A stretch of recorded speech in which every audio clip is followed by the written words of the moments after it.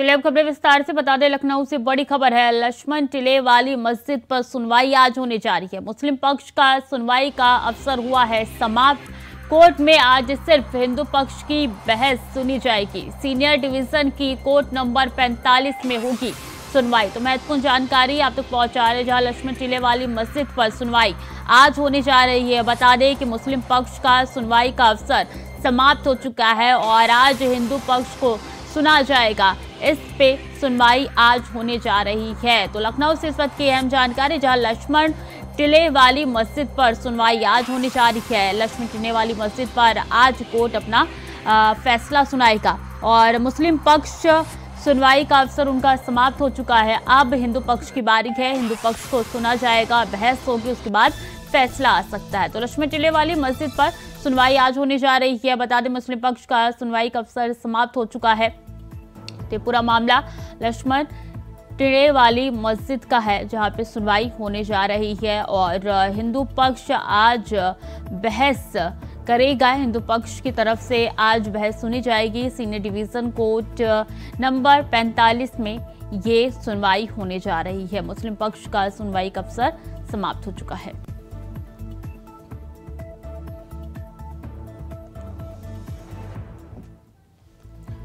तो मुस्लिम पक्ष का सुनवाई का अवसर हुआ है समाप्त। तो बता दें कि हिंदू पक्ष को आज सुना जाएगा और ऐसे में आज सुनवाई होनी जा रही है और सीनियर डिवीज़न की कोर्ट नंबर 45 में ये सुनवाई होगी आज। पूरा मामला लक्ष्मण टीले वाली मस्जिद पर सुनवाई का है जिसपे आज हिंदू पक्ष बहस करेगा। इससे पहले मुस्लिम पक्ष की बात सुनी गई थी कोर्ट द्वारा और आज हिंदू पक्ष सुने, सुनाएगा। प्रियम पाठक हमारे साथ जुड़ चुके हैं, ज़्यादा जानकारी के लिए। प्रियम कितने बजे ये सुनवाई होने जा रही है? क्या कुछ जानकारी है? कुछ देर में जो ये सुनवाई है, वो शुरू होगी लखनऊ के पुराने लखनऊ का ये मामला टीले वाली मस्जिद पर है, वो सुनवाई होनी है। मुस्लिम पक्ष की सुनवाई का अवसर जो है, वो पूरा हो चुका है, उसको टाइम दिया गया था। और आज जो है, वो हिंदू पक्ष की जो बहस है, वो कोर्ट में सुनी जाएगी। सीनियर डिवीज़न की कोर्ट में जो है ये सुनवाई होगी और कोर्ट की जो संख्या है, वो पैंतालीस नंबर कोर्ट में आज इस मसले को लेकर पूरी सुनवाई जो है, वो की जाएगी। तो कह सकते हैं कि इस लिहाज से आज का काफ़ी अहम जो है वो रहने वाला है जिसमें आज लखनऊ स्थित जो लक्ष्मण टीले वाली मस्जिद है उस पर सुनवाई आज की जाएगी। ये सुनवाई काफ़ी दिनों से चलती आ रही है ये केस और इससे पहले मुस्लिम पक्ष की तरफ़ से भी अपनी दलीलें रखी गई थी कोर्ट में? हाँ बिल्कुल देखिए इससे पहले जो सुनवाई हुई है उसमें मुस्लिम पक्ष ने अपनी जो दलीलें थी, वो जो अपनी उसकी तथ्य थे, उनको कोर्ट के सामने रखा था और आज जो है इस मसले को लेकर जो हिंदू पक्ष है, वो कोर्ट में अपनी बात को रखेगा। पूजा की मांग यहाँ पे उठाई जा रही है, जिसकी वजह से ये मामला कोर्ट तक पहुँच गया है, प्रियम। आ, बिल्कुल देखिए इस पूरे मामले की अगर बात की जाए तो हिंदू पक्ष जो है वो टीरल मस्जिद पर बने हुए टीलेश्वर महादेव मंदिर में पूजा अर्चना की मांग जो है वो कर रहा है। और उसी को लेकर इस पूरे मसले में बहस चल रही है। आ, मामला जो है वो अब न्यायालय तक पहुँचा है। न्यायालय में इस मामले को लेकर सुनवाई चल रही है। कोर्ट अभी देखना होगा फ़िलहाल अभी इसमें क्या कुछ जो है वो सुनवाई करता है। टिल्ले वाली मस्जिद ने मुस्लिम पक्ष की जो याचिका थी, उसको कोर्ट ने खारिज भी कर दिया था इससे पहले। और अब हिंदुओं की पूजा अर्चना करने की मांग पर सुनवाई है, वो सिविल जज कोर्ट में आज होनी है। गुरुवार को जो कुछ दिन पहले अभी जो कह सकते कोर्ट का जो फैसला था, वो मुस्लिम पक्ष के लिए एक बड़े झटके के तौर पे था, लेकिन अभी फ़िलहाल कह सकते आज देखना होगा जब कोर्ट में इस मसले को लेकर सुनवाई होती है तो उसमें कोर्ट की तरफ़ क्या कुछ कहा जाता है। इससे पहले मुस्लिम पक्ष की ओर से क्या दलीलें दी गई थी कोर्ट में? देखिए, मुस्लिम पक्ष की ओर से अपने सभी तथ्य उसमें रखे गए और उसमें इस बात को पूरी तरीके से सिरे से नकारा गया था कि वहाँ पर कोई ऐसा मंदिर है या मंदिर के अंदर वहाँ उस मस्जिद के अंदर जो है कोई मंदिर की बात की जा रही है। तो इस बात से उसने साफ़ तौर पर इनकार किया था और कहा था कि वो लंबे समय से वहाँ पर वो मस्जिद बनी हुई है, जिसमें वो लोग इबादत करते रहे हैं। और ये कहीं ना कहीं कह सकते हैं कि उनकी आस्था के साथ में खिलवाड़ किया जा रहा है, अगर ऐसा कुछ कहा जाता है। जबकि दूसरी तरफ़ हिंदू पक्ष है, उसकी अपनी दलीलें हैं, उसका कहना है कि जो ये टीले वाली मस्जिद है। वो दरअसल हिंदू पक्ष की तरफ़ से कहा जा रहा है कि इसमें टीलेश्वर महादेव मंदिर जो है वो बना हुआ है और इसीलिए उसमें पूजा अर्चना करने की जो है वहाँ पर मांग जो है वो हिंदू पक्ष की तरफ़ से की जा रही तो क्या सर्वे कराने की भी किसी तरीके की याचिका दायर की गई थी इस मस्जिद में? अभी इस तरीके से कोई भी जो आदेश है वो नहीं आया है। ज़रूर देखना होगा, जब हिंदू पक्ष की जो बातें दलीलें सुनी जाएँगी तो उसके बाद देखना होगा कोर्ट की तरफ़ क्या कुछ फैसला दिया जाता है। ठीक है बहुत बहुत शुक्रिया आपका तमाम जानकारियों के लिए।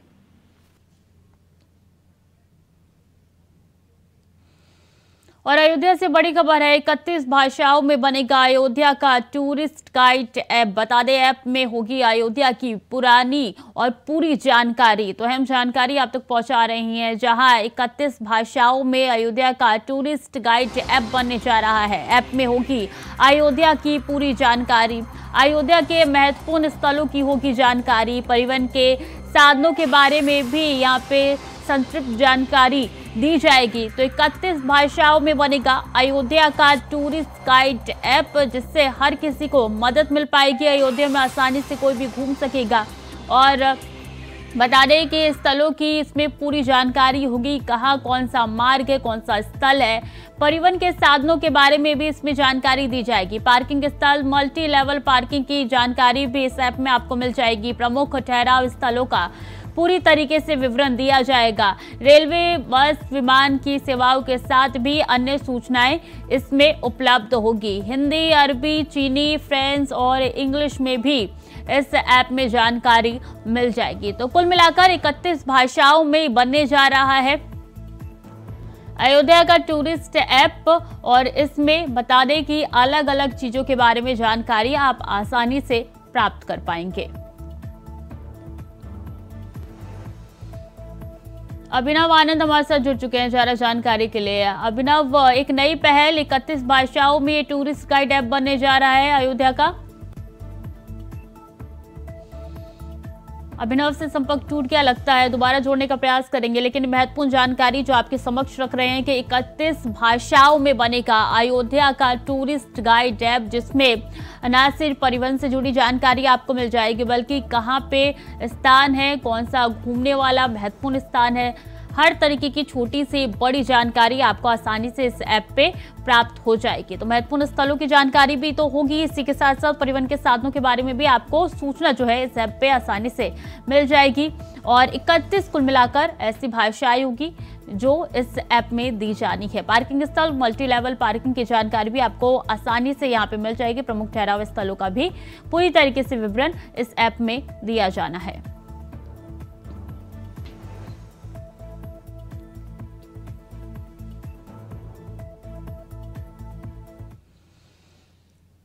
और बता दें कि अहमदाबाद के राम भक्तों को सौगात मिली है। सीएम योगी ने किया है इंडिगो की फ़्लाइट का उद्घाटन और अयोध्या से अहमदाबाद तक भरेगी ये उड़ान। केंद्रीय मंत्री ज्योतिरादित्य सिंधिया ने भी दिखाई है हरी झंडी। तो महत्वपूर्ण जानकारी आप तक तो पहुँचा रही है, जहाँ इससे पहले प्रधानमंत्री ने इस, एयरपोर्ट का उद्घाटन किया था।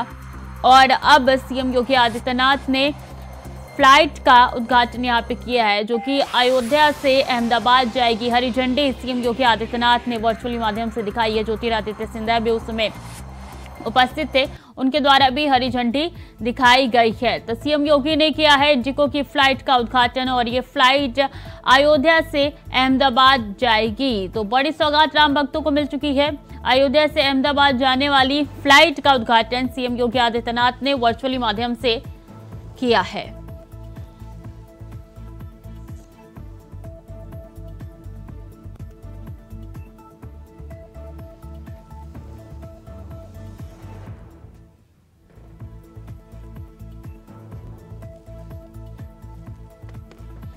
तो अयोध्या से अहमदाबाद, अब फ़्लाइट उड़ान उड़ान भरेगी।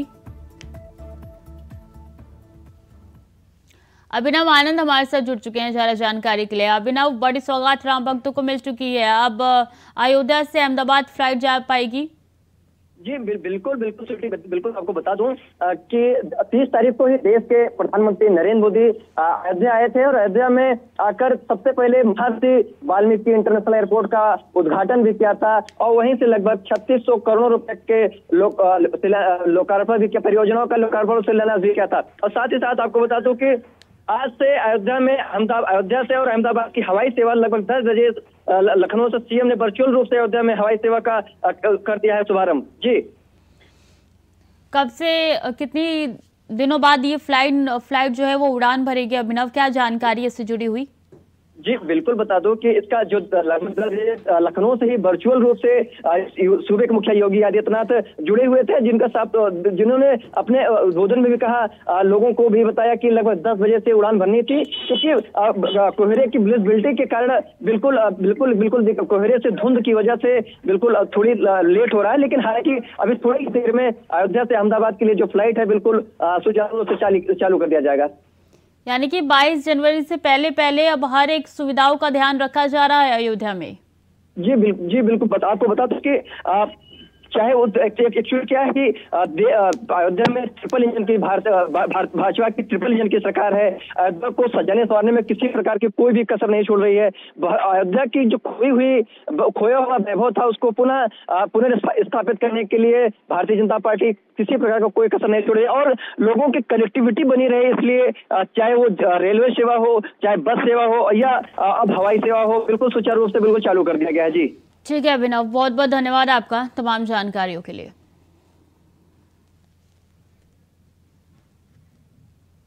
मैं आभारी हूँ आदरणीय प्रधानमंत्री जी का, जिन्होंने उत्तर प्रदेश को चौथा इंटरनेशनल एयरपोर्ट के रूप में महर्षि वाल्मीकि इंटरनेशनल एयरपोर्ट अयोध्या प्रदान किया है।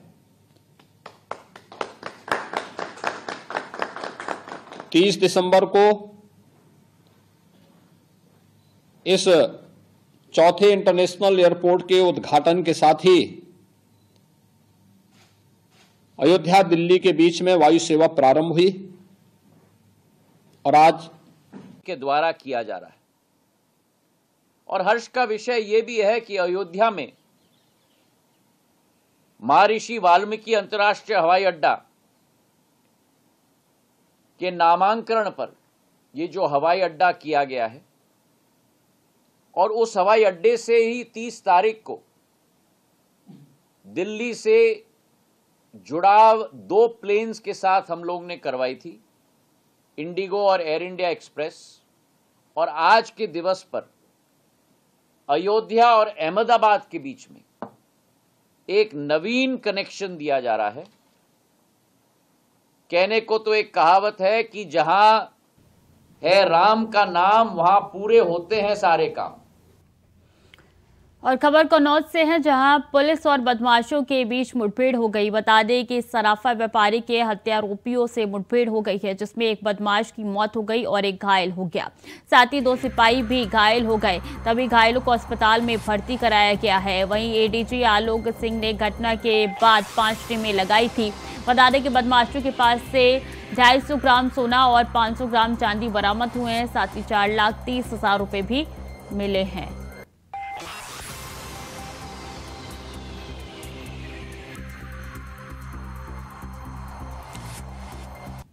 तो शुक्रवार को सराफा व्यापारी के हत्या हत्यारोपियों से पुलिस की मुठभेड़ हुई है।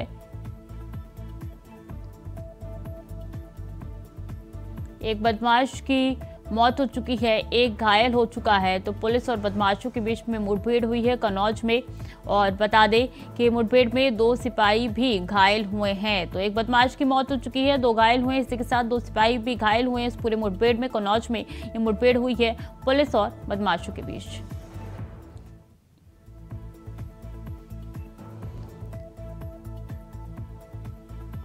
तो सराफा व्यापारी के हत्यारोपियों से मुठभेड़ हुई है पुलिस की और ऐसे में एक की मौत हो चुकी है। आरोपी की दो घायल है इसी के साथ दो सिपाही भी इस पूरे मुठभेड़ में घायल हो चुके हैं। बदमाशों से 250 ग्राम सोना 500 ग्राम चांदी बरामद कर लिया गया है। चार लाख तीस हज़ार रुपये भी बरामद हो चुके हैं।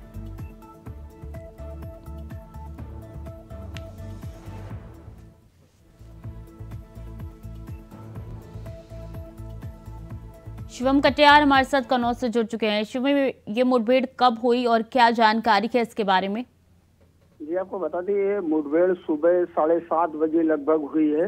ये जो घटना, पहले तो घटनाक्रम आपको बता दें बीते पाँच जनवरी को जो सराफा व्यवसायी से गुटसाईगंज के संबंध में लूट हुई थी, जिसको सराफा व्यवसायी को गोली मार दी गई थी। इलाज के दौरान सराफा कारोबारी की मौत हो गई थी। मौत के बाद जो उसकी मंगेता थी, उसने वह फांसी लगा के आत्महत्या कर ली थी। पूरे मामले में पुलिस काफ़ी आरोपियों को गिरफ़्तार करने की कोशिश कर रही थी। काफ़ी 400 कैमरा, सीसीटीवी कैमरों को खंगाला गया। 400 सीसीटीवी कैमरों के बाद में जो एडीजी जोन आलोक कुमार सिंह है उन्होंने लगभग पाँच ज़िले की टीमों को इस पूरे घटनाक्रम का पर्दाफाश करने के लिए लगाया। तो आज सुबह जैसे ही मुखर के द्वारा पुलिस को सूचना मिली है कि ये जो आरोपी हैं ये उधर घुड़सागंज के क्षेत्र में थे। पुलिस ने चारों तरफ़ से घेराबंदी करके जब इन्होंने पुलिस ने आरोपियों को रोकने की कोशिश की, तो आरोपियों ने पुलिस के ऊपर फायर कर दिया। रक्षा है तो पुलिस ने काउंटर फायरिंग की। काउंटर फायरिंग के दौरान पे जो दो आरोपी हैं इनको गोली लगी है। दो सिपाहियों को भी गोली लगी है दो सिपाही और दो आरोपी एक घायल हुए थे। एक आरोपी की इलाज के दौरान मौत हो गई है। जी। तो क्या क्या बरामद किया है पुलिस ने इनके पास से? जी अगर बरामदगी की बात करें तो घटना में लूटा गया 250 ग्राम 250 ग्राम सोना और 500 ग्राम चांदी, चार लाख तीस हज़ार रुपए बरामद हुए हैं। कहीं ना कहीं अगर बरामदगी, पूरी बरामदगी की बात करें तो ये 20 लाख से ऊपर की लगभग बरामदगी है। इससे पहले बता दें, एक घटना और लूट की आपके गोसाईगंज क्षेत्र में हुई थी। उस घटना में भी इन्हीं आरोपी को शामिल होना बताया जा रहा है। जी। तो कब से पुलिस इनकी तलाश कर रही थी जब आप कामयाबी मिल चुकी है? जी, आपको बता दें, ये घटना गोसाईगंज के समदन क्षेत्र में हुई थी। पाँच जनवरी को, पाँच जनवरी से आज ग्यारह, छह दिन से लगातार पुलिस इनकी तलाश कर रही थी। जो इनका जो सीसीटीवी सारे खंगाले जा रहे थे, सीसीटीवी के आधार पर पुलिस को जैसे जैसे सूत्र मिल रहे थे तो पाँच पाँच जिलों की जो फोर्स है कानपुर कानपुर, देहात, औरैया, इटावा और फरुखाबाद व कन्नौज, पाँच जिलों की टीम जो है, इन आरोपियों की तलाश कर रही थी। आज सुबह कन्नौज पुलिस को काफ़ी बड़ी सफलता मिली है। जी। ठीक है, शुक्रिया आपका तमाम जानकारियों के लिए। और हापुड़ में पुलिस का ऑपरेशन क्लीन लगातार जारी है। बता दें कि गढ़ कोतवाली पुलिस की चेकिंग के दौरान बदमाशों से मुठभेड़ हो गई, जिसमें दो बदमाश घायल हो गए और दो मौके से फरार हो गए। तो वहीं घायल बदमाशों के पास से पुलिस ने दो तमंचे, कारतूस, मोटरसाइकिल बरामद कर ली है। बताया जा रहा है कि बरामद पाँच दिन पहले गढ़ क्षेत्र में हुई लूट में वांछित चल रहे थे। फ़िलहाल बाकी दोनों फरार बदमाशों की तलाश जारी है। दौतई नहर पुल के पास चेकिंग की जा रही थी। तभी नहर पटरी के किनारे से दो बाइक पर चार युवक आते हुए दिखाई दिए। उन्हें रुकने का इशारा किया गया तो वो बाइक तेज भगाने लगे। पुलिस पार्टी द्वारा उनका पीछा किया गया तो उन्होंने पुलिस पार्टी पर जान से मारने की नीयत से फायरिंग की। आत्मरक्षार्थ की गई फायरिंग में दो युवकों को गोली लगी है पैर में, जिन्हें घायल अवस्था में गिरफ़्तार कर लिया गया है और उनके दो साथी अंधेरे का फ़ायदा उठाकर भागने में कामयाब हुए जिनके लिए कॉम्बिंग कराई जा रही है। और प्राथमिक पूछताछ में इनका नाम विक्की और आज़ाद पता चला है और ये लोग गढ़ कस्बे के ही रहने वाले हैं। इन पर पहले गोकसी और 307 का मुकदमा भी है और अभी पाँच दिन पहले हुई गढ़ में लूट की घटना में भी ये लोग वांछित हैं। इनके कब्जे से एक काली स्प्लेंडर प्लस बाइक कुल बाईस सौ रुपये लगभग नगद और दो तमंचा, ज़िंदा कारतूस, खोखा कारतूस बरामद हुआ है। उनको अस्पताल में भर्ती करा दिया गया है और अग्रिम वैधानिक कार्रवाई प्रचलित है। और 22 जनवरी को अयोध्या में देश के प्रधानमंत्री नरेंद्र मोदी प्रभु श्री राम की प्राण प्रतिष्ठा करेंगे, जिस वजह से इस दौरान किसी भी तरीके का कोई विघ्न ना हो। इसको लेकर सुरक्षा के पुख्ता इंतज़ाम किए गए हैं। तो वहीं सुरक्षा को लेकर अयोध्या के सबसे नजदीकी जनपद बहराइच के भारत नेपाल सीमा पर एसपी वृंदा शुक्ला और नेपाल के अधिकारियों ने जायजा लिया। बता दें कि एसपी वृंदा शुक्ला ने अपने अधीनस्थ अधिकारियों के साथ भारत नेपाल सीमा का जायजा लिया और समिति के साथ बैठक की। साथ ही गरीबों को कड़कटी ठंड में कंबल भी वितरित किए।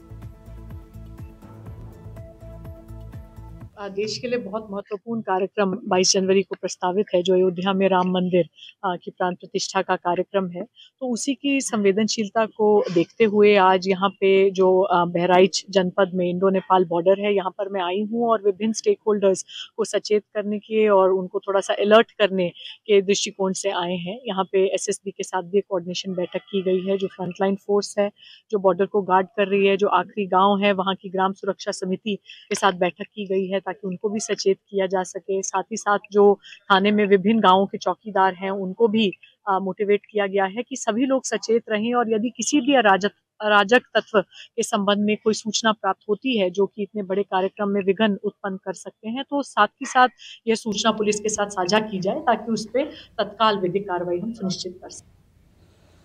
और गाजियाबाद के लोनी में बॉर्डर थाना और सेवाधाम चौकी के बीच राम विहार मार्केट में मंगलवार रात को चोरी हो गई, जहाँ करीब 20 नकाबपोश संटू सोनू ज्वेलर्स का शटर उठाकर 60 लाख के गहने चोरी कर ले गए। बता दें कि चोर चांदी की मूर्ति, पाजेब के साथ सोने की ज्वेलरी का बैग और प्लास्टिक का बॉक्स चादर में भर कर ले गए। तो वहीं चोरी की घटना सीसीटीवी कैमरे में कैद हो गई। हालाँकि सूचना पर पुलिस और ज्वेलर्स मौके पर पहुँचे और डीवीआर को कब्जे में लेकर जाँच शुरू कर दी।